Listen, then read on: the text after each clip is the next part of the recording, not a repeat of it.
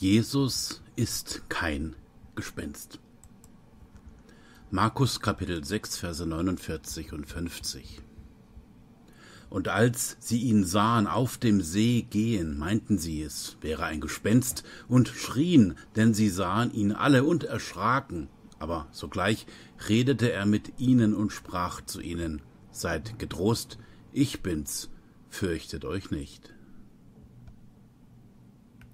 Unser Glaube an Jesus Christus hier auf Erden ist keine sogenannte Jenseitsvertröstung und sollte von uns auch nicht so gesehen werden.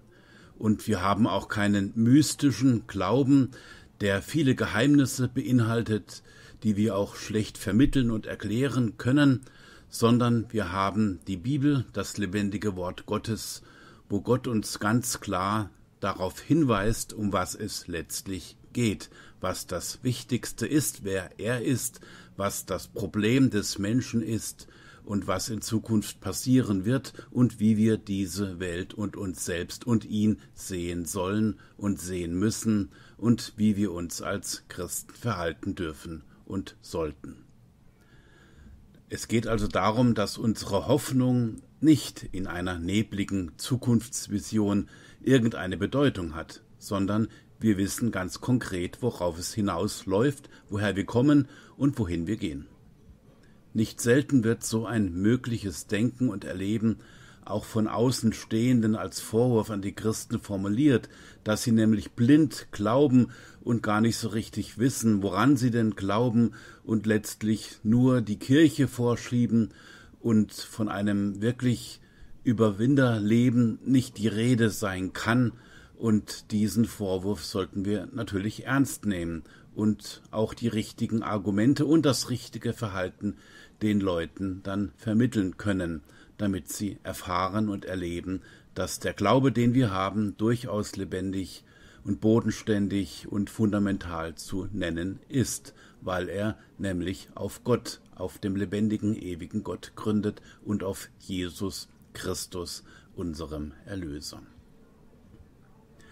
Christen ignorieren nicht das reale Leben oder laufen nur blind irgendeinem fernen Ziel entgegen, von dem sie nicht so recht wissen, was das beinhaltet.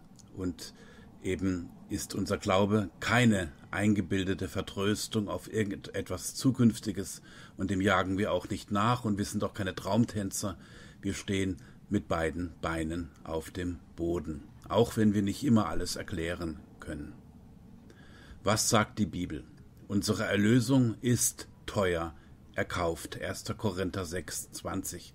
Und wenn unser praktisches Glaubensleben tatsächlich nur wie eine ferne Utopie aussieht, dann ist das sicherlich nicht richtig und wäre auch viel zu billig.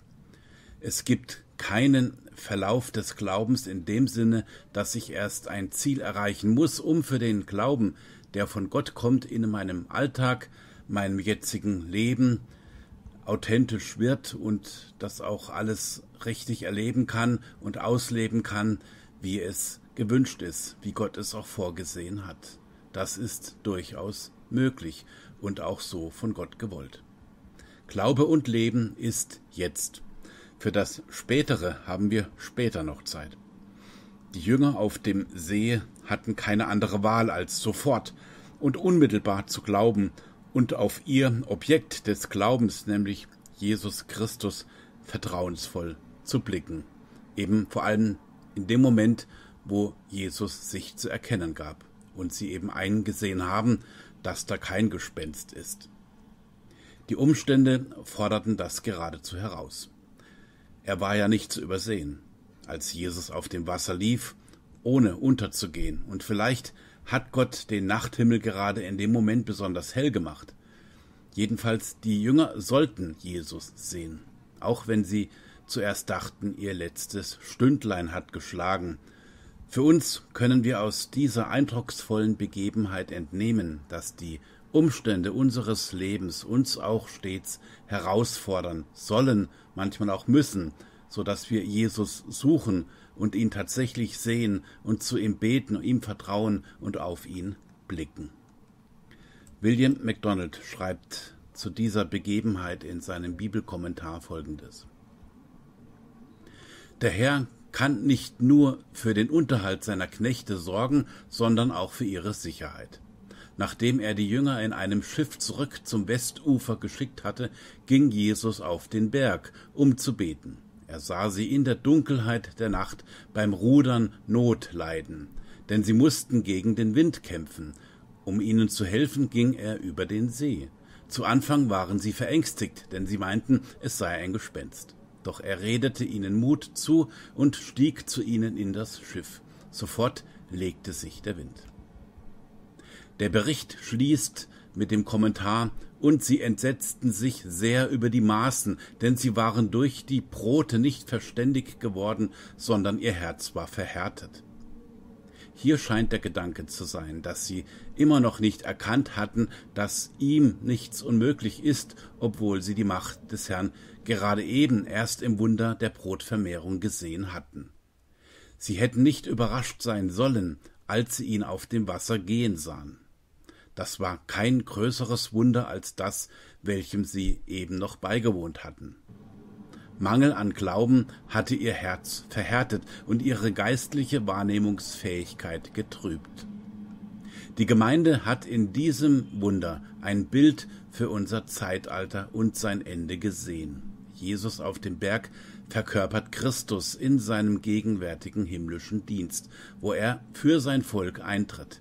Die Jünger stehen für seine Nachfolger, die von den Stürmen und Versuchungen des Lebens gebeutelt werden. Bald wird der Retter zu den Seinen zurückkehren, sie aus der Gefahr und Verzweiflung befreien und sie sicher zur himmlischen Küste geleiten. Soweit. Gott geht alles etwas an, was unser Leben betrifft. Nichts ist ihm zu billig oder zu gering, als dass er sich nicht auch darum kümmern will und könnte. Gottes Realität soll unsere tägliche Wirklichkeit sein, und zwar jetzt, hier, sofort, unmittelbar und mitten im Leben und Alltag, ohne Aufschub und ohne Strategie und Kalkül. Das Leben erfordert es, dass wir jetzt glauben und nicht vielleicht irgendwann aus unserem täglichen Leben den Glauben ziehen, sondern aus dem Glauben das Leben. Glaube ist Leben. Sicherlich gibt es bei uns im Alltag auch immer mal wieder Momente, Augenblicke und Situationen, die uns, wie bei den Jüngern auf dem Boot, vielleicht zuerst unheimlich, unerwartet und auch bedrohlich vorkommen können, und die plötzlich auftauchen und uns überraschen und sozusagen manchmal auf dem falschen Fuß erwischen. Aber wenn wir genau hinsehen und zuhören, so wie gläubig und nicht ungläubig sind, Johannes 20, 27, dann wird uns Jesus auch zurufen. Ich bin's. Seid getrost und fürchtet euch nicht. Glaube ist hier und heute, und wir brauchen auch diese irdische Realität und Wirklichkeit, um uns in der Wahrheit Gottes in unserem persönlichen Leben gläubig und gehorsam zu stellen. Und das jeden Tag und jede Nacht. Römer 1.5. Was in Zukunft noch alles geschehen wird und was sich bei uns persönlich in unserem Leben ändern darf und kann, das muss unseren Glauben im Jetzt nicht beeinflussen.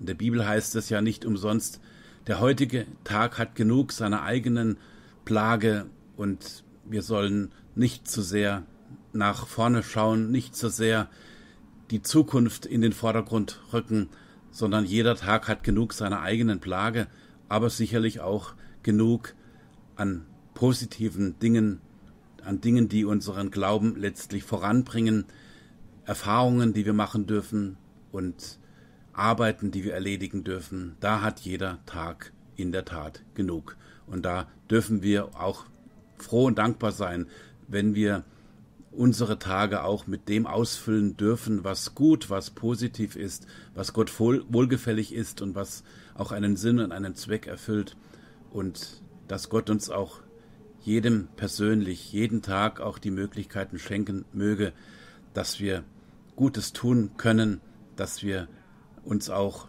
mit den Dingen beschäftigen, die unserer Seele gut tun, die auch anderen dienen, die Gott ehren, und dass wir auch für unseren Lebensunterhalt sorgen dürfen auf die eine oder andere Weise, dass wir arbeiten gehen können, soweit wir das vermögen und dass wir einkaufen können, essen und trinken und was wir sonst noch so brauchen und dass wir Dinge erledigen können, dass wir zum Arzt gehen können, dass wir uns einfach auch mit anderen Christen treffen können. Es gibt so viel, was den ganzen Tag über möglich und sinnvoll ist, aber auch wenn wir zu Hause sind und uns ausruhen dürfen und vielleicht was kochen dürfen für unsere Lieben, das alles ist auch etwas Positives und Gutes, wenn wir beten, wenn wir in der Bibel lesen, wenn wir einfach zur Ruhe kommen, das sind alles auch sinnvolle Dinge. Es genügt, dass Gott in die Zukunft schauen kann. Wir müssen das nicht. Gott ist unser Vertrauen wert. Jeden Tag, jeden Augenblick unseres Lebens. Sowohl was die Zukunft betrifft und auch was unser tägliches Leben betrifft. Darum nimm dein Leben an, so wie es jetzt ist, und überlasse es Gott, was morgen ist. Seid gesegnet.